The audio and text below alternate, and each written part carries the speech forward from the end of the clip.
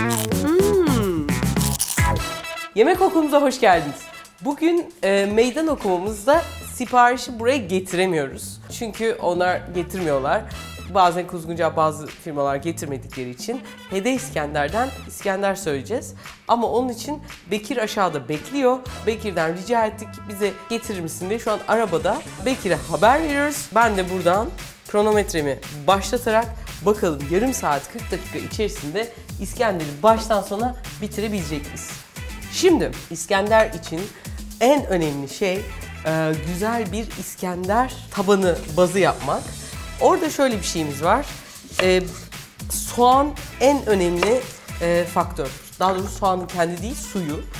Onun için böyle güzel suyu üzerinde lezzeti böyle kekik kokulu güzel bir et yapacağız.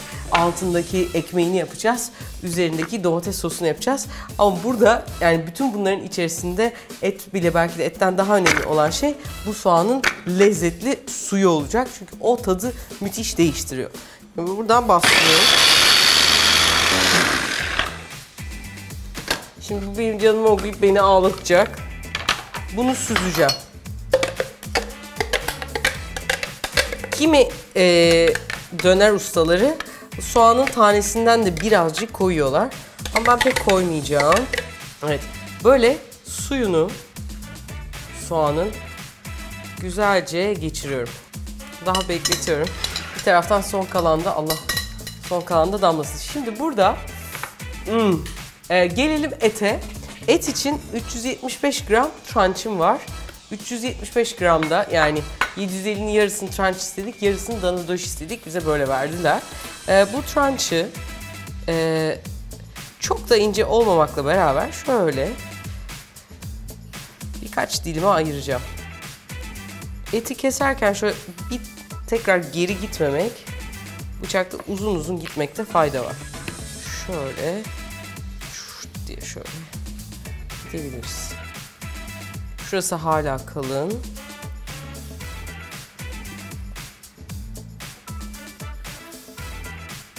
Böyle kesiyorum. Şimdi böyle dilimler. Çok da ince o değil. Daha ince de olabilir ama şu an etimiz az diye daha büyük döner olduğunda büyük parçadan ve çok güzel dönerciler kesebiliyor. Şimdi bunu direkt bu soğan suyunun içine koyuyorum.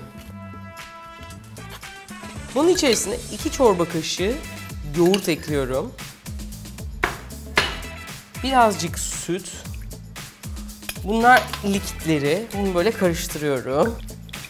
Bu şimdi e, yoğurt da, süt de, soğan suyu da aslında e, eti çürüten ve eti bir araya e, daha lezzetli bir şekilde getirecek şeyler olacak. Et dilimlerini tek tek içine atıyorum.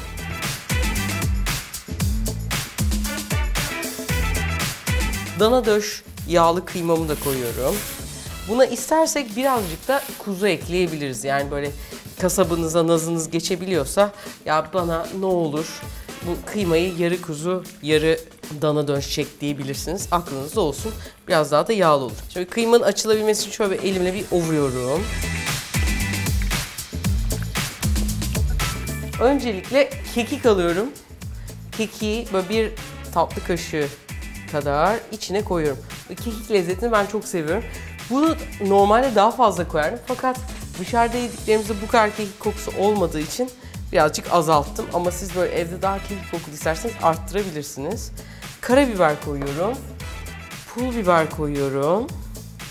Şöyle bir tatlı kaşığı kadar da tuz koyuyorum. Aklınızda olsun bu taze kekik e, işi çok fark ettiriyor. Taze kekik bulursanız muhakkak ve muhakkak böyle bir mutfağınızın bir yerinde bulunsun. Taze kekik de tabii tadını çok güzelleştirecek. Şöyle bir parçada bunları yeni sudan geçirdim. O yüzden tekrar yıkamıyorum. Kekiğimi de ekledim mi mis gibi kokuyor. Dönerimin içi neredeyse hazır. Şimdi bunun ideal olarak böyle güzelce karıştıracağım. İdeal olarak birazcık beklemesi gerekiyor. Şöyle yaptık hani e, hazırlık ve bütün pişirme vakti aynı süreye gelsin diye. Bunu şimdi ben hazırlayacağım ve donduracağım. Dünden dondurduğum da var. Onunla da devam edeceğim. Şöyle tezgahı ıslatıyorum. Pişirme kağıdım rahatça yapışsın. Şimdi önce bu etleri koyuyorum. Karışık da koyabiliriz hiç problem değil. Arada böyle kıyma parçaları olsun bilerek istiyorum. Sonra ortasına kıymalı karışımı ekliyorum. Şimdi hepsini böyle üst üste yaptım. Sonra bunu alıyorum. Ucundan kıvırarak kapatıyorum. Ve şöyle sarıyorum. İki tarafından böyle hani şeker kabı katlar gibi sıkıştırarak kapatıyorum. Bu aslında 750 gram 4 porsiyon rahat rahat olabilecek hatta 5-6 bile çıkarabileceğimiz dönerimiz. Bunu böyle 2 saat önce buzdolabına yerleştireceğim. Bütün o soğanlar, baharatlar iyice etin içine geçebilmesi için. Ondan sonra derin dondurucuya koyacağım. Şimdi burada e, derin dondurucuda dün dondurduğum, ondan sonra da aslında e, bir çekime başlamadan evvel 20-25 dakika evvelde çıkardığım hala taş gibi olan etim var. Bunu çıkarırken dikkatli çıkarmak gerekiyor. Kağıt kalmasın. Şimdi şöyle bir şey yapıyoruz. Tekrar tahtamı alıyorum yanıma. Bir parça peçete alacağım çünkü büyük ihtimalle donacağım. Şimdi bunu şöyle ince ince kesiyorum.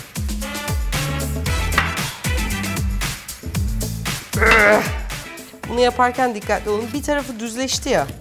Şimdi dış kısmı tabii bekledikçe daha hızlı yumuşuyor. O yüzden kenarlarını sonradan kesmek daha kolay olacak. Bir kısım kesi böyle. Ondan sonra ilk dönerinizi yapıp tavada yaptıkça e, zaten bu yumuşayacaktır. Yumuşadıkça da dönerinizi çıkarabilirsiniz. Şimdi her birinden, her bir e, yüzeyinden böyle e, bir tur kestikten sonra tavamın altını yakıyorum. Tavaya çok azıcık böyle tatlı kaşığı kadar falan tereyağı ekleyeceğim. Kendi yağında önce kavrulmasını istiyorum. Vakitte 18 dakika olmuş. Diğer soslarını falan da bir taraftan hazırlayacağım. Şimdi tavanın böyle ısınmasını bekliyorum. Burada tavanın iyice kızmış olması çok önemli. Yapışmaması için. Şimdi böyle güzelce ısınınca artık bütün bu dilimleri böyle ince ince olan bu dilimleri yerleştirebilirim. Şöyle yerleştiriyorum. Şu an böyle tam anlamıyla e, böyle dönercinin önünde böyle beklediğinizde inanılmaz güzel bir koku olur ya. O koku e, çıkmaya başladı. Özellikle böyle kapalı çarşının yanında e, dönerci vardır iç, içinde de olan. Onun böyle döneri gibi koktu çok güzel. Şimdi bunların bir tarafları olmaya başladıkça yavaş yavaş çeviriyorum. Eğer tam olmadan çevirirseniz e, suyunu bırakmaya başlıyor. Yani tam olmadan dediğim renginde böyle hafif böyle nasıl ateş gördüğündeki e, değişiklik gibi şu an mesela bunlar tam olmamış. Tam olmadan bütün tavayı çevirirsem bu sefer e, sulanıp e, suyunu bırakıp haşlanmaya başlıyor ve o istediğim bir şey değil. Çünkü tam böyle közlenmesi lazım. Şu doğru bir olma kıvamı. Şurası. Şimdi böyle bir parçası olunca kenara topluyorum. Altını kapatıyorum. Kalan dönerlerimi de güzelce kesiyorum.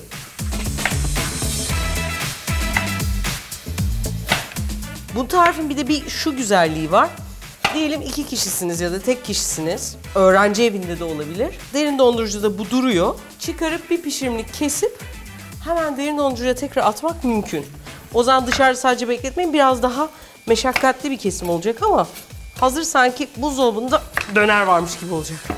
Şöyle bir parça da yağ ekliyorum. Bu yağ biraz şey gibi işliyor aslında. Hani en tepesinde kuyruk yağı. O duran kuyruk yağını sanki dönerin üzerine akıyormuş gibi biz onun yerine tereyağı akıtıyoruz gibi düşünün. Şöyle altını tekrar tavanın açıyorum. Biraz tavanın bu tarafını kullanıyorum. Öbür tarafta pişenleri bekletiyorum. Şimdi bu bir taraftan pişerken artık ben de e, sosumu yapabilirim. Şimdi sos için bir tereyağı kavuracağız. Bir üstüne lezzetli sosu olacak. Bir de ekmeği olacak ya.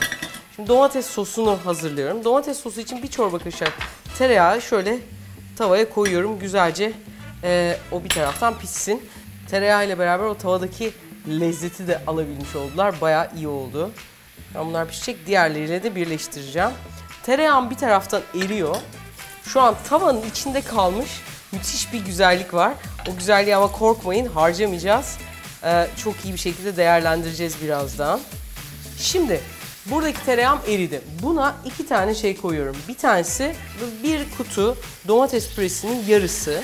O da yaklaşık 100 mililitre falan. Bir de yarım bardaktan biraz daha az domates e, suyu koyacağım. Bu da böyle işte 4 porsiyon İskender'in aslında üzerini değerlendirebilecek, ekmeğine falan da dökebileceğimiz domates sosu olacak. Bu tatlı tatlı en küçük ocakta kaynıyor olacak. Bunun içine bir tek çok çok azıcık şeker ekliyorum. Bir böyle bir tutamdan daha az da karabiber ekliyorum. O böyle bir domates sosinin bir bayıklığı oluyor onu engellemek için. Şimdi dönerlerim böyle çok güzel kıvamını aldı. Şimdi geri kalan, şimdi burada bu tavada böyle bir güzellik var ya. Burada tırnak pidelerim var. İki tane tırnak pidem var. Bu tırnak pidesini, pidelerini şöyle güzel kesiyorum. Ve aslında şöyle bir şey. Bunlar böyle hem bir taraftan kıtırdıyor hem de bir taraftan işte o e, İskender'in suyunu güzelce alabiliyor ya. Onu ev usulünde en ideal şekilde ve az yağlı nasıl yapabiliriz diye düşünerek şöyle bir şey düşündüm. Şimdi şunun altını açıyorum. Birazcık daha tereyağı koyacağım. Şimdi bunun içine bu ekmekleri koyuyorum. Güzelce bunları gezdiriyorum. Ve sonra içine azıcık da su ekliyorum. Şimdi bu tavanın güzellikleri bu daha kurumuş olan pidelerimi hem canlandırıyor hem de o etin lezzetli suyunu, yağını güzelce içlerine çekmesini sağlıyor. Bu işin hani oyun kuralını değiştiren şey de aslında bu lezzetli ekmekler oluyor. Ne oldu İskender geldi mi? Vallahi İskender gelmiş. Tamam peki biz yetişemedik. Oldu. Olur böyle vakalar. Şu an ara verdik. Yağmurlar yağdı. Burada böyle küçük bir fırtına kopuyor.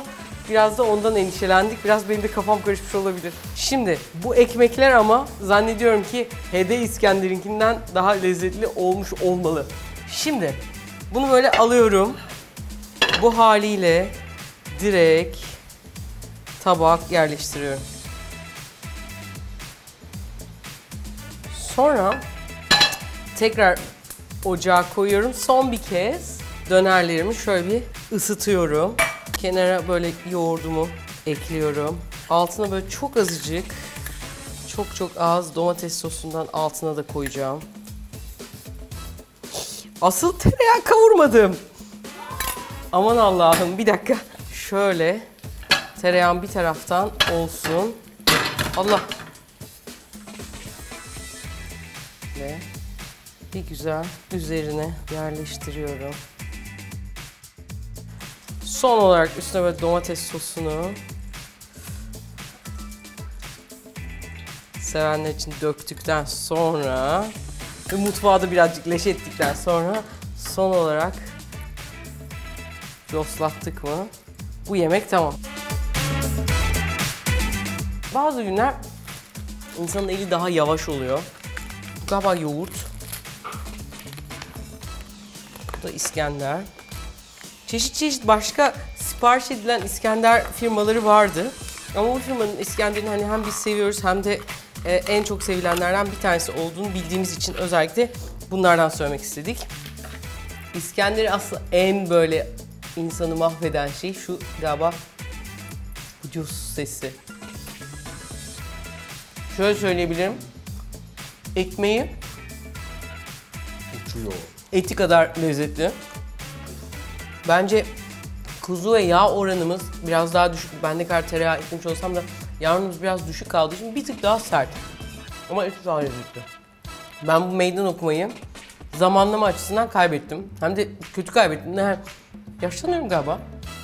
Da 10 dakikada, yani bu İskender'i benim 10 dakikada yapıp yemeğe oturmuşluğum var ve beceremedim. Ama siz bence en az benim kadar bence benden daha iyi yapabilirsiniz. Lezzet olarak ona hani hani kendiminkini övmeyeyim ama güzel. Ben öyleyim.